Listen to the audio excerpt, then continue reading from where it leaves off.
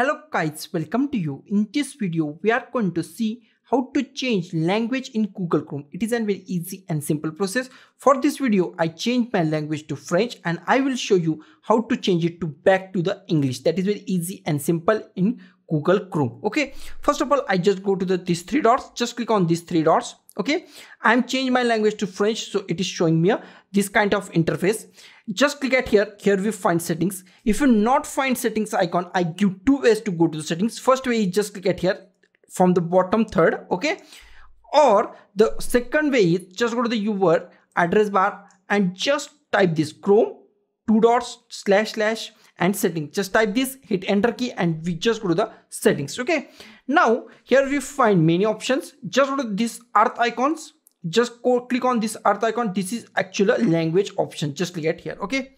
Here we find many option. The first option is our language. This option is our language okay? Here we find my language is french in your case your language must be different okay? If you find english language at here then just move up and set as default and your language become a english okay?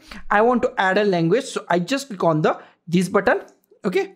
And i just type at here english okay? It's showing me many options. We just go to the english united states english india english canada australia or any language that you want. I want to english united states. So i just click on the english united states and just check this mark and just click on this button. Okay i don't know what is this. Okay now here we find one new option is appear on our screen. Okay it is an actual we added options. Now just click at here three dots and just move it to the top. Just move it to the top. This is an move it to top. Okay just click at here.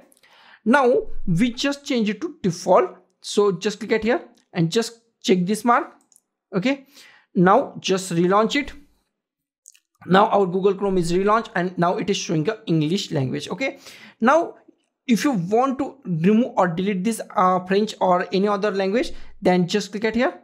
And here we find remove button. Just remove it. Now our official language is english. So guys this is the simplest way to change any language to english or from english to any language in a google chrome so guys thank you for watching this video don't forget to like share, comment on this video and don't forget to subscribe the channel. Thank you guys.